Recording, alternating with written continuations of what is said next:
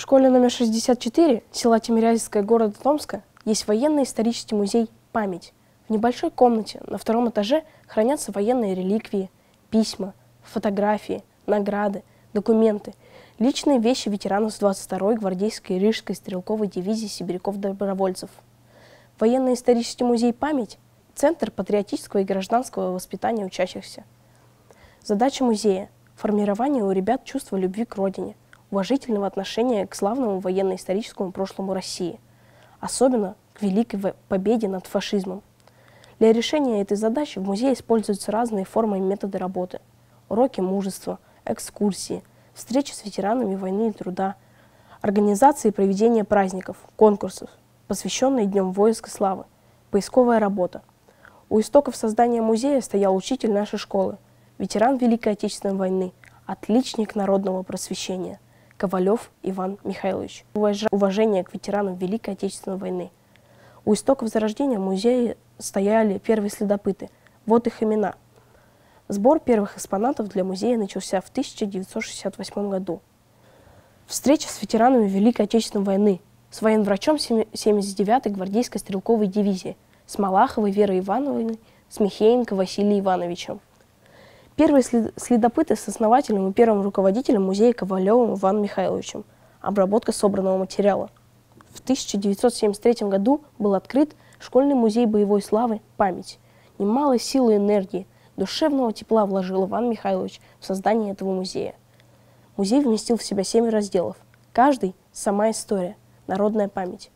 До мечи фронту, Тимирязевцы в бою и в труде, дорогами отцов – четырех разделах рассказывается о ратных подвигах полков 22-й гвардейской стрелковой дивизии сибиряков-добровольцев, 62-й гвардейский стрелковый полк, 65-й гвардейский стрелковый полк, 67-й гвардейский стрелковый полк. И особое значение мы придаем истории и формированию боевым действиям 48-го гвардейского артиллерийского полка, сформированного в городе Томске, героизму его воинов. С экспонатов музея устремлены взоры тех, кто сражался в годы минувшей войны в разных частях и соединениях, на разных фронтах и направлениях обширного фронта. Основной фонд музея – это боевые награды, фронтовые письма, военные реликвии, священная земля, при, привезенная с мест захоронения сибиряков-добровольцев, личные вещи ветеранов Великой Отечественной войны, фотографии. Актив музея в разные времена побывал на местах боев, где воевала 22-я гвардейская рижская дивизия сибиряков-добровольцев – по крохам собирали ребята материала, чтобы увековечить подвиги своих земляков. Были личные встречи, поездки по местам боев.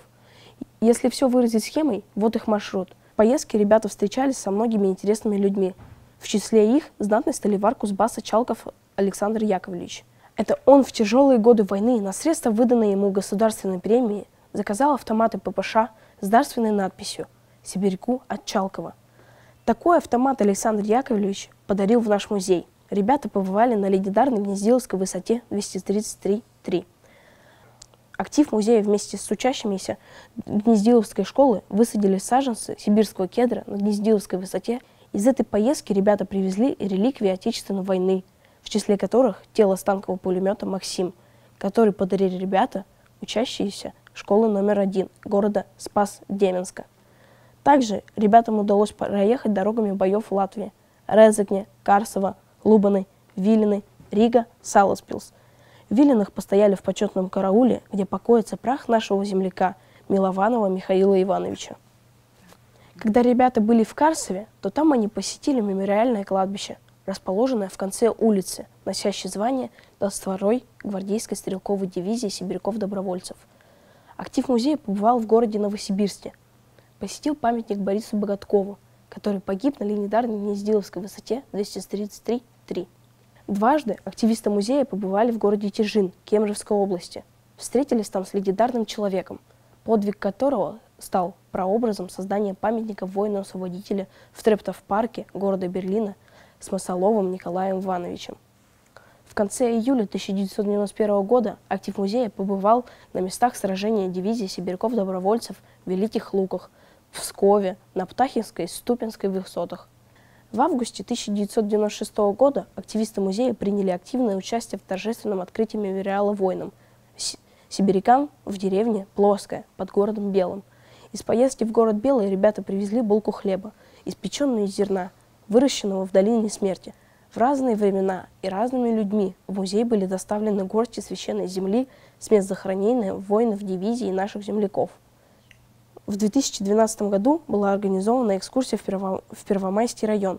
На экскурсии ребята познакомились с достопримечательностью в поселке Первомайское, посетили поселковый краеведческий музей, комнату-музей в Константинопольском центре дополнительного образования, экскурсия в музее школы номер 34 в музей кадетского корпуса. За большую поисковую исследовательскую работу музею присвоено название «Школьный музей». Среди ярких и творческих дел в музее проводится экскурсия. Экскурсия – это одна из форм работы в музее.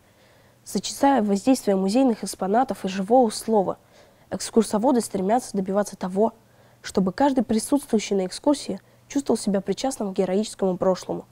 Темы проводимых экскурсий. Была организована встреча с, с поисковым отрядом «Патриот».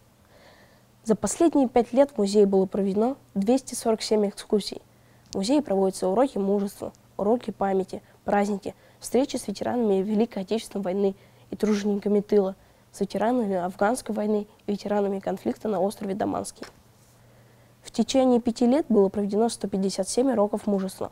Было организовано около 50 встреч с ветеранами войны и труда, с ветеранами Афганской войны, с ветеранами конфликта на острове Даманский. Ведется сбор материалов о тружениках тыла, награжденных медалью за доблестный труд в годы Великой Отечественной войны 1941-1945 года.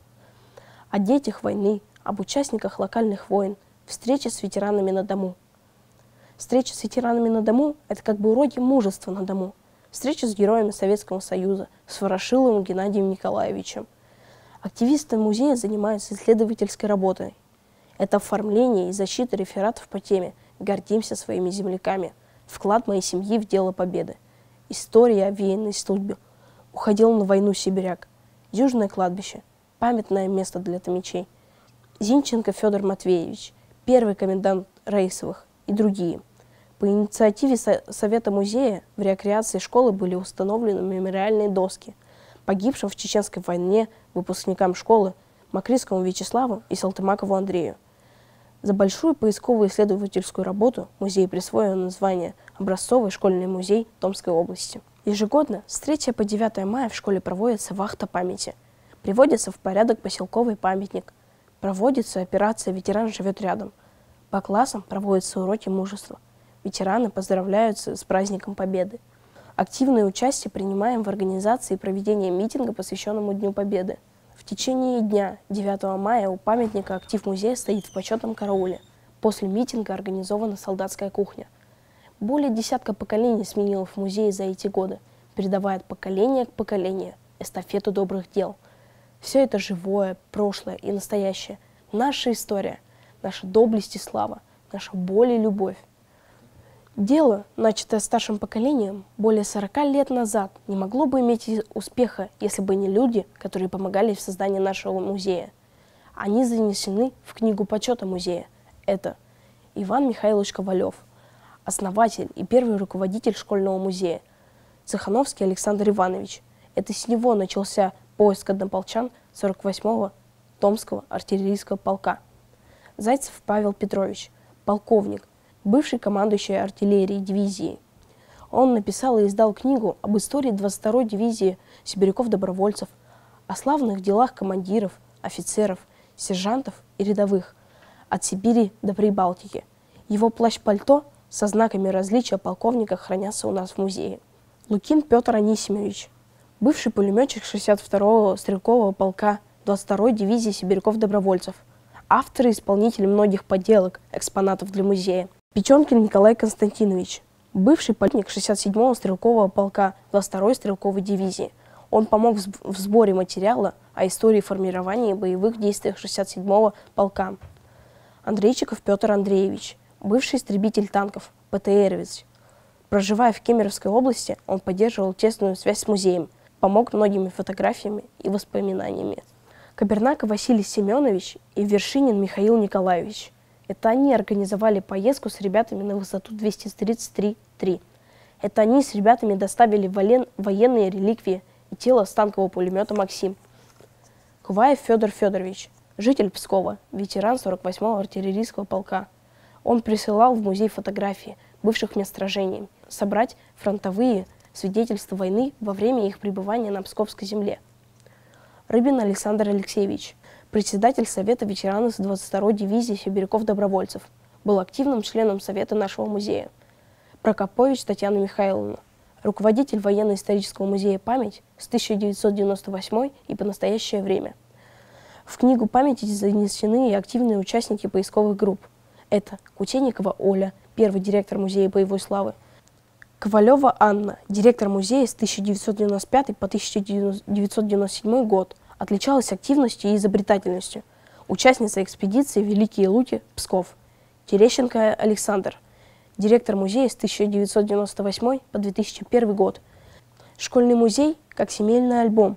Он помнит всегда о событии любом – помнит все достижения старших всех поколений, не забывает, хранит наш музей, судьбы прекрасных людей –